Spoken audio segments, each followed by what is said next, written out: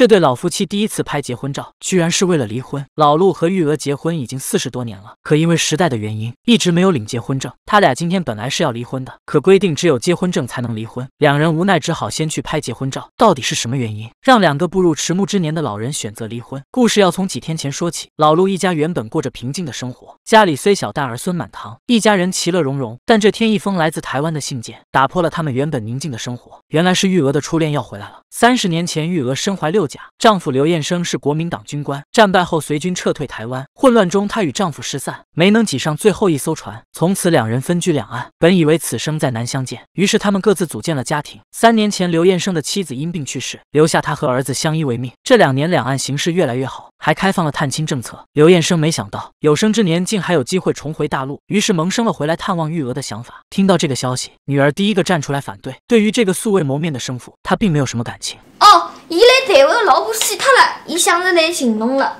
葛末要现在老婆没死脱呢？伊就想着来看看侬、望望侬啊。反而是孙女跑来安慰奶奶，她觉得奶奶开心最重要。很快就到了信里约定的日子，一家人早早开始准备饭菜。居委会还安排了小乐队，表示对台湾同胞的欢迎。还没到时间，刘延生就提前到了。大伙放下手头的活，都赶紧出去迎接。硕大的厨房只剩下玉娥一人，三十年的等待已经抽空了她所有的力气。玉娥怀着忐忑的心情，慢慢出现中在人群中。两个相隔多年的恋人，终于在此刻见面，纵有千言万语。也难以表达他们此刻的感受。看着白发苍苍的老妇，和记忆中的模样已然不同。刘彦生试探的询问：“你是玉娥吧？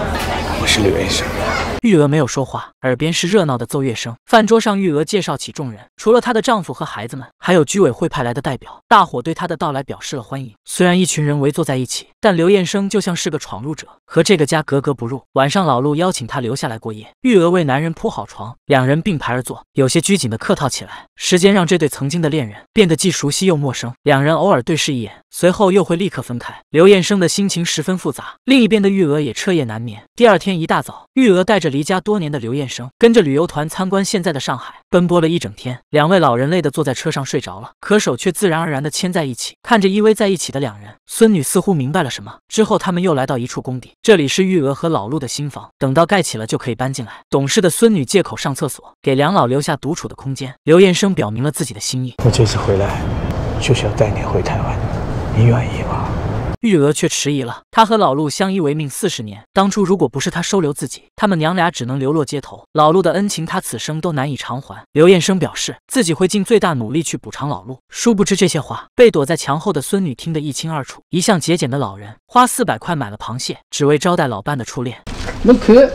镀金啊，一百块一只，我买了四只。玉娥本想和他商量离婚的事，但看到从来舍不得花钱的丈夫，为了招待远道而来的刘彦生，准备了那么贵重的食材。玉娥突然不忍心告诉他真相。那么搿能了，我去退他两只，好吧？哪呢？一人吃一只。玉娥找到刘彦生，他实在是开不了这个口。老陆和他夫妻一场四十年的陪伴和感情，不是一时半会能够放下的。老陆是个好人呀，所以我我交关难得伊开口呀。刘彦生也能理解，他明白自己亏欠老陆太对，愿意拿出全部积蓄作为补偿。他安抚好玉娥，表示这件事他来开口。晚上三人坐在一起吃饭，刘彦生主动提出想带玉娥回台湾。老陆的心里其实早有预感，他说这件事要问玉娥。刘彦生说这件事他们俩已经商量好了。老陆低下头埋头吃饭，他尊重妻子的决定，但拒绝了刘彦生的补偿。他这个年纪有再多的钱也没用了，死了又不能带走。老陆希望玉娥能和孩子们商量一下，也尊重一下孩子们的想法。之后一家人坐在一起。起讨论这件事，大女儿第一个不同意。搿拉爷哪能办啊？侬搿能介做太不讲道理了吧？二女儿拦着了大姐，表示想听听妈的想法。可玉娥却表示，妈的阿爸几十年了，有恩情。一句有恩情，委婉地点出了他的想法。在玉娥心里，对老陆是亲情是恩情，但没有爱情；而和刘彦生虽然只有一年，却是实实在在的爱情。这几十年来，他一直为了这个家而活，为了子女而活。他现在已经一把年纪，想为了自己为感情活几年。一众儿女却不买账，表示就这样突然离开，对老陆太不公平。刘彦生这时候站了出来：“我是经过了慎重的考虑，所以我特别带了五万、十万块钱。”一旁的女婿忍不住泼冷水，区区十万在上海可根本不算什么。而你们嫌刘燕生给的钱太少，一家人吵得不可开交。一直沉默不语的老陆突然爆发，他答应和老伴离婚，刘燕生的钱分文不要。他尊重玉娥的决定，只要咱妈开心就可以了嘛。